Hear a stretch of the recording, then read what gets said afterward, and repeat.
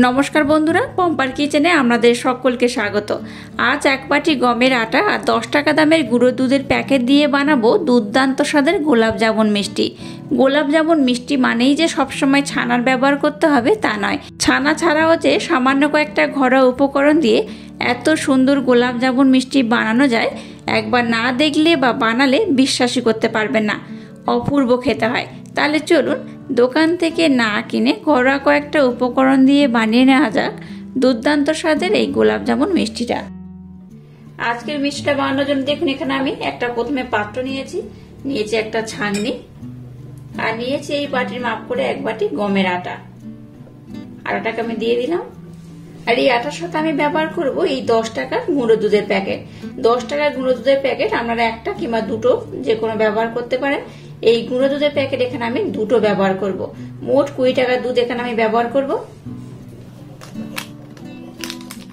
এবার দেখুন, এই যে বাটি নিয়েছি, এই বাটি মাপ করে যতটা আমি এই কাটা নিয়েছি, ঠিক ততটাই কিন্তু আমি দুধটা নেব। দুটো দুধ হলেই কিন্তু মোটামুটি একই মাপ হয়ে যাবে। আর একটা দুধের প্যাকেট আমি নিয়ে নেব। আর একটা দুধ আমি নিয়ে নিলাম। দেখুন, যতটা আমি আটা নিয়েছি, ঠিক ততটা আমি গুঁড়ো দুধ মানে মিল্ক পাউডার নিয়ে নিলাম। একদম সামান্য পরিমাণে বেকিং পাউডার দিয়ে দিচ্ছি। বেকিং সোডা নয়, বেকিং পাউডার একদম সামান্য করে দিয়ে দিলাম। দিয়ে দেবো একদম সামান্য পরিমাণে লবণ। এটা অপশনাল ব্যবহার না করতে পারে তবে মিষ্টি জিনিসে একটু লবণ দিলে মিষ্টির স্বাদটা দ্বিগুণ বেড়ে যায়। এবার সমস্ত শুকনো উপকরণ এইভাবে একটু আমি চেলে নেব। এইভাবে চেলে নিলে কি হয়, মিষ্টিটা কিন্তু খুব সুন্দর হয়। মিষ্টির মধ্যে কোনো ডলা থাকে না বা দানা দানা অংশ থাকে না, একদম মিহি করে মাখাও হয়ে যায়, আর মিষ্টিটা খেতেও খুব সুন্দর হয়। এই দেখুন, এই যে ডলা ডলা অংশটা রয়েছে, এটা কিন্তু আর থাকবে না। এইভাবে হাতের মাধ্যমে একটু ঘষে দিলেই কিন্তু খুব ভালোভাবে এটা হয়ে যায়। এই দেখুন। শুকনো উপকরণ কাটা একটু হাত দিয়ে মেখে নেব। দিয়ে দেবো ঘি। ঘিটাকে দেখুন, আমি মেল্ট করে নিয়েছি। বেশ তিন থেকে চার চামচ ঘি আমি দিয়ে দেব। আপনারা চাইলে এখানে ঘির পরিবর্তে সাদা তেলও ব্যবহার করতে পারেন, তবে ঘি দিয়ে বানালে কিন্তু মিষ্টিটা একদম দোকানের মতো পারফেক্ট হয়। খেতে দুর্দান্ত হয়, অসম্ভব সুন্দর হয়। একবার না বানালে বিশ্বাসই করতে পারবেন না। তো ঘিটা দিয়ে এটাকে আমি আর একবার খুব ভালোভাবে মেখে নেব।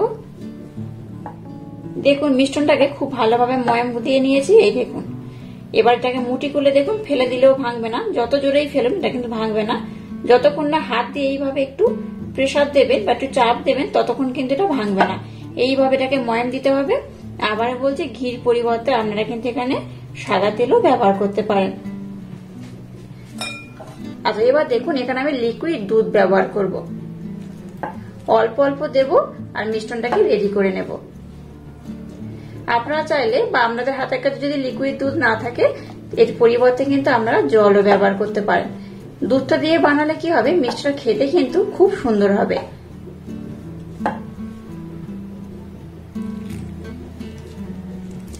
তবে জল দিয়ে করলেও অসুবিধা নেই।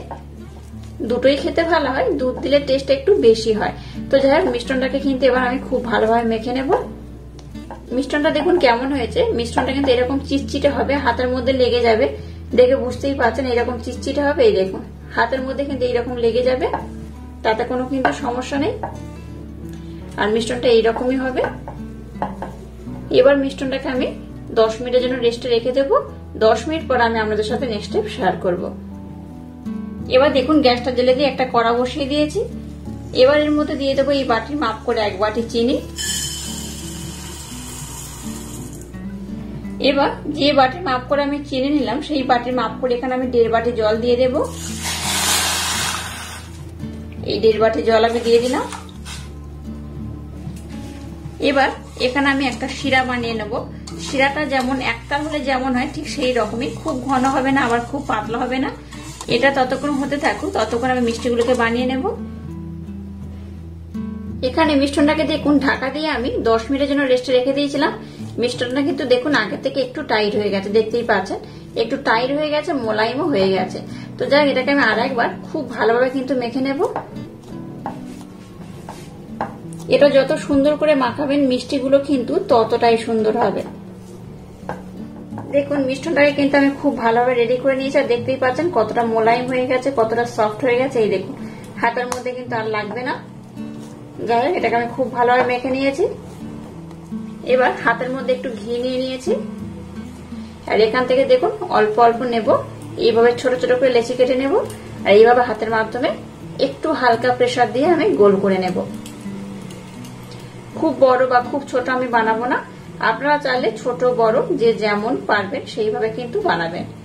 এই দেখুন, এইভাবে কিন্তু একদম গোল গোল করে বানিয়ে নিতে হবে। দেখতেই পাচ্ছেন কতটা সুন্দর হয়েছে। একইভাবে সমস্ত মিশ্রণ দিয়ে আমি এইভাবে লেচি কেটে গোল করে নেব। আচ্ছা আপনারা চাইলে কিন্তু লম্বা চ্যাপটা যা যেমন ইচ্ছা শেপ দিতে পারেন। আমি যেহেতু এটা গোলাপ জামুন বানাচ্ছি, তাই কিন্তু গোল শেপ দেব। দেখুন, সবগুলো মিষ্টিকে কিন্তু আমি খুব ভালোভাবে গোল করে নিয়েছি। চিনির শিরাটা কিন্তু আগে থেকে বেশ ঘন হয়ে গেছে। এবার এখানে দুটো এলাচ দানা আমি দিয়ে দেব। চিনির শিরাটা কিন্তু প্রায় রেডি হয়ে গেছে। আমি ঘনত্বটা আপনাদের দেখিয়ে দিচ্ছি, দেখুন কেমন হয়েছে। এই দেখুন। হাতের মধ্যে নিয়ে বুঝতেই পারবেন। দেখুন, একটা তার যেরকম সৃষ্টি হবে, এই দেখুন। একটা হলে যেমন হয়, ঠিক সেই রকম। তো যাই হোক, এটা কিন্তু একদম রেডি হয়ে গেছে। একদম শেষ এখানে। একটু লেবুর রস দিয়ে দেবো কয়েক ফোঁটা। তাহলে কি হবে? আর কিন্তু যখন এটা ঠান্ডা হয়ে যাবে, তখন কিন্তু আর জমে যাবে না।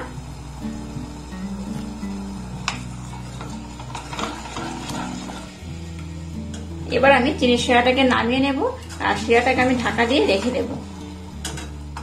এবার দেখুন গ্যাসটা জ্বেলে দিয়ে একটা কড়াইতে তেল দিয়ে তেলটাকে একটু হালকা গরম করেছি। এবার যেগুলো মিষ্টি শেপ দিয়েছিলাম সেগুলো তেলের মধ্যে দিয়ে দেব। এই দেখুন, তেলের মধ্যে দিতে বুঝতেই পারছেন একদম হালকা বুদবুদ হচ্ছে, এইরকম কিন্তু তেল গরম করতে হবে, খুব বেশি গরম হলে হবে না। এইভাবে সব মিষ্টিগুলোকে আমি তেলের মধ্যে দিয়ে দেব। মিষ্টিগুলো তেলের মধ্যে দেওয়ার পর কিন্তু হাতা বা খুন্তি ব্যবহার করবেন না। এইভাবে কন্টিনিউ তেলটাকে নাড়াচাড়া করবেন। দেখবেন অটোমেটিক এগুলো কিন্তু ঘুরতে থাকবে।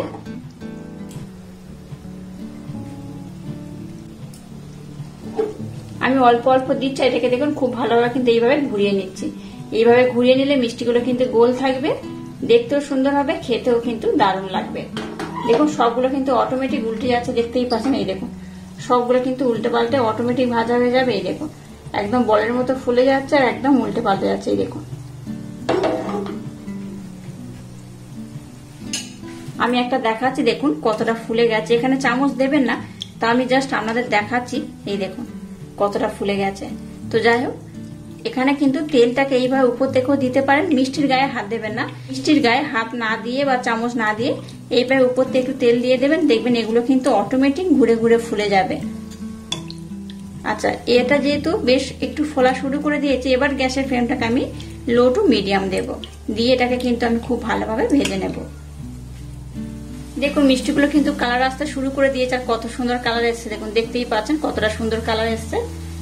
খুব বেশি কিন্তু আমি লাল করব না। আবার কিন্তু খুব সাদা বা হলুদ টাইপের থাকবে না। এই দেখুন, কালারগুলো কিন্তু একদম পারফেক্ট হয়েছে। এবার আমি গ্যাসটাকে বন্ধ করে দেব। আমার কিন্তু মিষ্টিগুলো ভাজা একদম রেডি হয়ে গেছে। এই দেখুন, কত সুন্দর কালার হয়েছে দেখুন। দেখতেই পাচ্ছেন কতটা সুন্দর হয়েছে। আর এই দেখুন, কত সুন্দর বলের মতো ফুলে গেছে, এই দেখুন। এবার আমি গ্যাসটাকে বন্ধ করে দিয়েছি আর মিষ্টিগুলোকে উঠিয়ে নেব।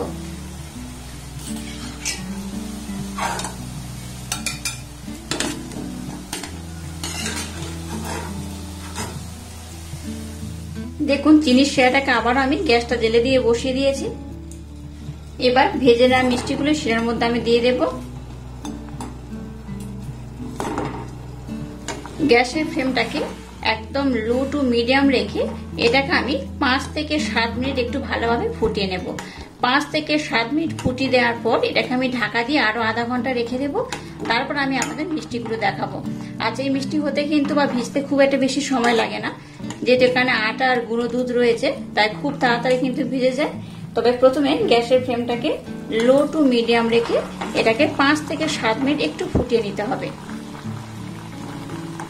ফোটানোর সময় এটাকে ঢাকা দিয়ে ফোটাবেন, তাহলে কিন্তু খুব ভালোভাবে এটা হয়ে যাবে।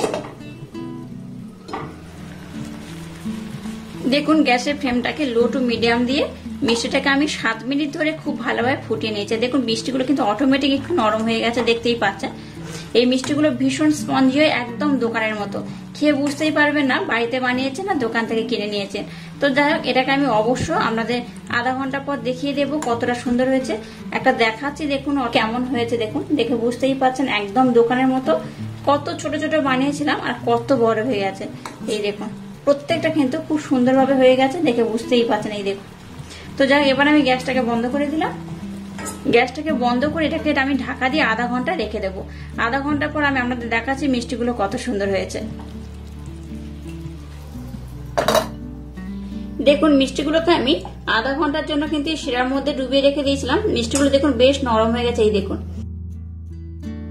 মিষ্টিগুলো দেখুন চিনি শিরাটাকে অ্যাবজর্ব করে একদম টয় টয়টুম্বর হয়ে গেছে। দেখতেই পাচ্ছেন, এটা ভীষণ নরম, তুলতুলে, মুখে দিলেই মিলেই যাবে। তো একটা কেটে আমি আমাদের দেখাচ্ছি, এটা কত সুন্দর হয়েছে। এই দেখুন, একটা মিষ্টি আমি নিয়ে নিলাম।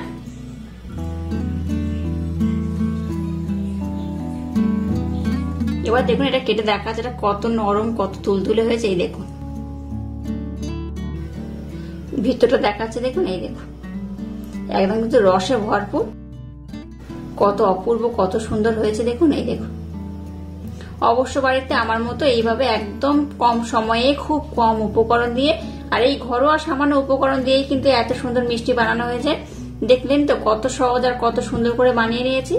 আর আজকের এই স্টাইলে একদম নর্মাল পদ্ধতিতে গোলাপ জামুনের রেসিপি যদি আপনাদের ভালো লাগে তাহলে চ্যানেলটাকে লাইক শেয়ার কমেন্ট এবং সাবস্ক্রাইব করবেন। আর পাশে থাকা বেল আইকনটা প্রেস করে দেবেন। তাহলে স্টার্ট টাটা আবার দেখা হচ্ছে নতুন কোনো রেসিপি নিয়ে।